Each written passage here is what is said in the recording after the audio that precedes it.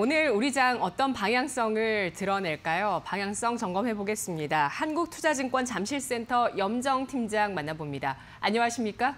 네, 안녕하세요. 네, 어제 우리 양대 지수 보합권에 마감됐습니다. 방향은 엇갈렸지만 보합권이었고 코스피가 사상 최고치, 코스닥은 약보합 마감됐습니다.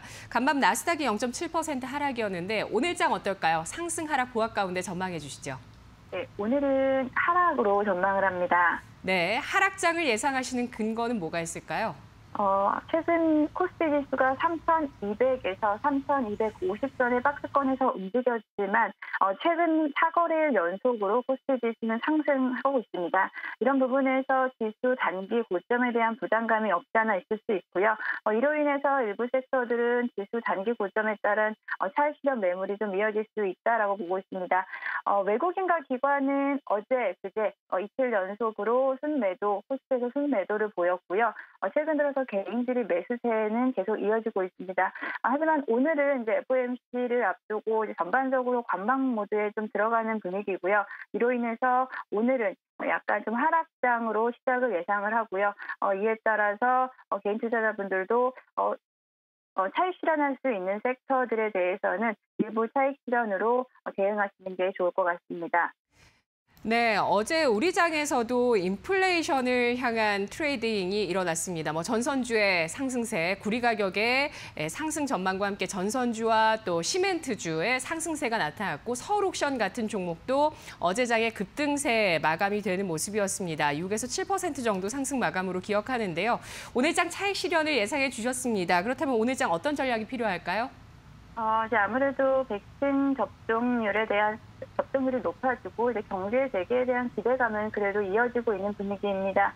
어, contact주에 대해서 contact 관련주 주에서 어, 빠른 순환매가 이루어지고 있는 장인데요. 어, 이럴 때 이제 contact 관련해서 어, 지금 장, 어, 지난주에는 제가 이제 여행 그리고 항공주 관련해서 좀 지켜보시면 좋다고 말씀드렸는데 어, 다시 또 어, 이제 여행 관련주들 그리고 어, 이런 어, 콘택트도 관련돼가 잠깐 쉬어가는 또 구간이 될 수 있습니다. 이럴 때는 어, 오히려 어, 이런 순환 다른 순환매장을 이용해서 조금 조정받는 콘택트주에는 좀 관심을 가져주시는 반대 전략으로 좀 취하시면 좋을 것 같고요.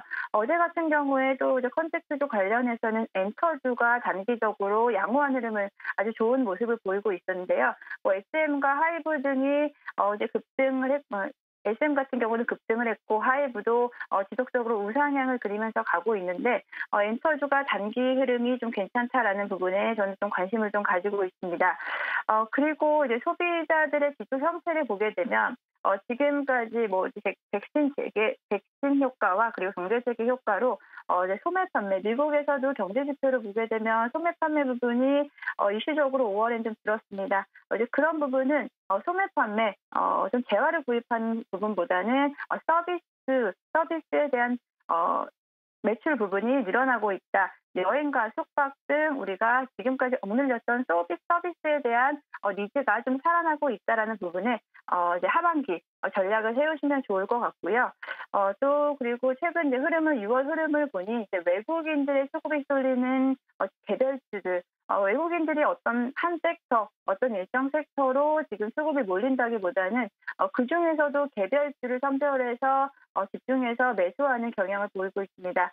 어, 우리도 지금 박스권 장세에 있기 때문에 그런 그런 시점에서 사실 어떤 섹터가 한꺼번에 오른다라기보다는 어, 선별적으로 개별주에 공략하는 부분이 좋을 것 같은데 어, 외국인이 수급이 몰리는 종목들이 최근 수익률이 좀 좋았다라는 기사와 함께 어, 이런 부분에서 관심을 가지시면 좋을 것 같고요. 어, 계속 말씀을 드리지만 2차 전지 이제 섹터에서는 벡터리 3사도 좋지만 이제 소재 관련주에도 어, 꾸준히 관심을 가지시고 어, 과대 낙폭 종목이라든지 최근 조정이 길었던 종목들에 대해서 선별적으로 대응하시면 좋으실 것 같습니다.